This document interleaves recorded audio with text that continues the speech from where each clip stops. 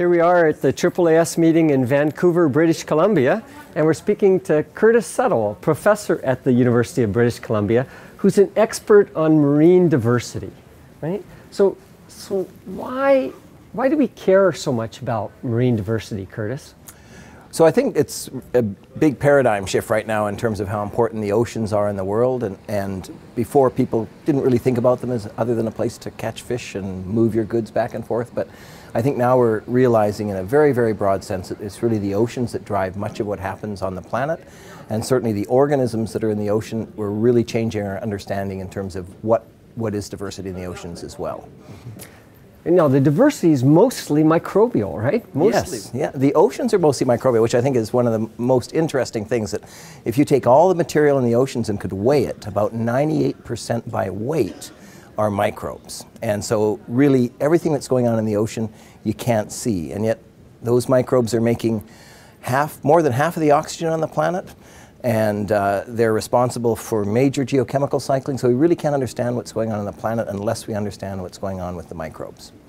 So one of the areas of diversity that I think surprised lots of people is the viral diversity yeah, in the yeah. ocean. It's, it's actually incredible. So what we're finding now is that if you think about all the genetic sequencing that's been done and, and how much effort's been put into it, if you take a, a liter of uh, water out of the sea and you, and you look at the viruses and you take it out of it, probably 80% of that genetic material has never been seen before. It has no homologs in any database. And, and each gene, of course, encodes for a protein which has got some kind of function, so it means that we don't really understand any of the functions of these things in terms of what they're doing. So, so it's absolutely incredible. So most of the genetic diversity on the planet probably lies within the microbes in the ocean, and then most of that diversity probably lies within the viruses the vast majority of viruses on our planet, or virologists on our planet, I should say, uh, study viruses that cause disease in humans and, and higher animals. Yeah. But yeah. I expect that's a small proportion of the viruses in the yeah, ocean. Absolutely. I think that's the other thing that's the, is a big paradigm shift because because all of a sudden we realize that, of sure, viruses have to make a living by, by replicating and, and, and killing other organisms, but by doing so, they're actually driving all those biogeochemical cycles on the planet. And what was really surprising to us is if you take the viruses out, everything stops. I thought it would actually be the opposite. They would grow faster, but no, you take the viruses out, everything stops growing. There is no more photosynthesis. Things just, the wheels grind to a halt because there's no, nothing, no food for anything to live on because the viruses are turning over all that material that keeps the wheels in motion. So, so on all kinds of different levels, and the, the viruses in the ocean are really changing our perspective from global geochemical cycles to diversity to deep evolution in terms of where do all these genes come from. So it's really is, it's been a major, major changing in our understanding. Uh, some of your work on viruses relates to an uh, old, old question in evolution, and that is where did transposons come from, right? People have been throwing this around. They came from viruses, but there wasn't good evidence. But, but your group has some really interesting new results. And, and I think this is one of the most fun things about working in this area is that I keep stumbling into areas that I know absolutely nothing about. When I started, I didn't know anything about viruses, pardon me. And so, and so when, we, when we found this little virus, which is absolutely remarkable because it kills a big virus which infects a little zooplankton. And so this little zooplankton gets infected by a big virus which kills it. But the little zooplankton can, can bring in these little viruses which kill the big viruses, which rescue the zooplankton so it survives. And so, so it's like the world's first immune system, if you like. You bring in another microorganism to kill the microorganism that kills you, and you survive. And then this little, these little viruses then spread out. And then we looked at these little viruses, we thought, well, what are they? And we looked at their genes and we say, well, they're not really related to any viruses that are known. And so what came up were these jumping genes, these large transposons, which are found in higher organisms. And in some organisms, it's 30% of the genomes are made up of relatives of this little virus, which kills the big virus, which kills the zooplankton.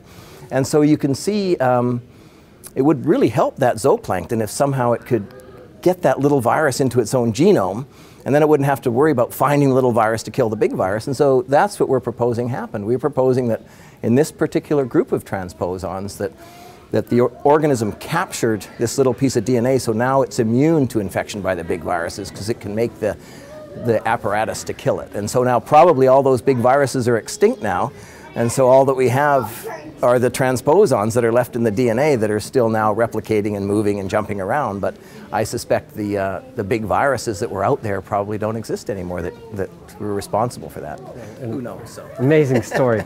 so, you know, one of the other questions, and it's, it's come up from discussions with some people here at this meeting, they say, in, in the old days, people who work on bacterial viruses would call them phage. Yep. And yep. now, people like you who are working on this whole viral biome out there uh, tend to group viruses together. You don't use the word phage very much. You say, you say this is a virus. Yes, uh, yes.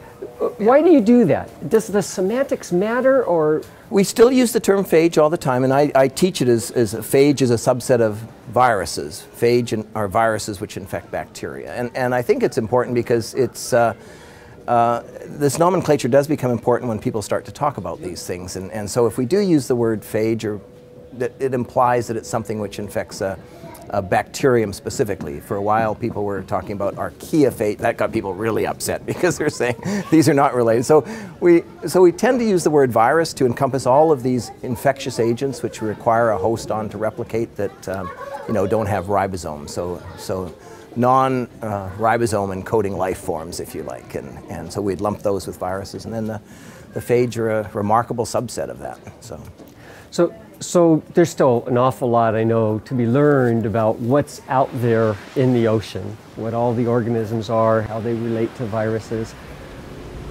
But a big question in ecology and environmental biology is how you can actually do the experiments to manipulate these things out in the environment yeah, yeah, to see yeah. what happens. Are we getting closer to that? So at some level we can do that. At some level we can we can manipulate things. We're doing experiments. We've learned a lot from that. That's how we know how much carbon they're cycling and how much nitrogen they're cycling. And so we can do those kinds of questions. The other things are uh, it's kind of like Darwinian science. It's really quite fun. We're going out there like microbiology was in the 1930s when people, you know, were started to work on viruses and bacteria and these things and, and just discovering all these new life forms. And where we can, we're bringing them into the lab. And so people are trying to do that. The new tools of genomics are remarkable because we can bring in uh, now we're getting whole genome sequences, and so we can infer the ecology from that, which is really remarkable. And so we can look at the whole genome sequence and say, ah, this bacterium does this and this and this and this virus infects that bacterium because they share genes in common and they have a, and so it's, we're really, uh, I think for the first time ever, we're starting to do ecology and things like that with genomic sequences. We're starting to build networks of things that interact together, networks of proteins, networks of biogeochemical cycles, uh, without ever actually having to put those stuff in the labs. And that's not to say that the lab is still a critical part of it, but the nice thing is we're now able to make advances without having to do that, you know, in, in all cases. So it's, a, it's really a new, uh, it's a new era in terms of how um, we're, we can approach this idea of this colossal diversity and, and biology that we're finding in, in the seas. So. Yeah. Very exciting. Yeah. And for this next generation of scientists, the things that they can do that you couldn't have conceived of 10 years yeah. ago is yeah. really impressive, isn't it? Well, it's fun, and, and I think that's, that's, a, that's a good message there because we had a, a, round table of, of sort of eminent scientists, and one of the most interesting things we ran around the table and asked, "How did you how did you end up here?" And and the trajectories that they followed were probably nothing else than following their imagination and they could have gone left, they went right, so they went right. But if they went left, something else would have happened, but it still would have been just as interesting, right? So, so I think um, uh, you can only plan so much, and as long as you keep your eyes open and as long as you have enthusiasm and interest, uh, there's just so much out there. And as I say, for us, it's been so fun because I feel like I'm an expert in nothing.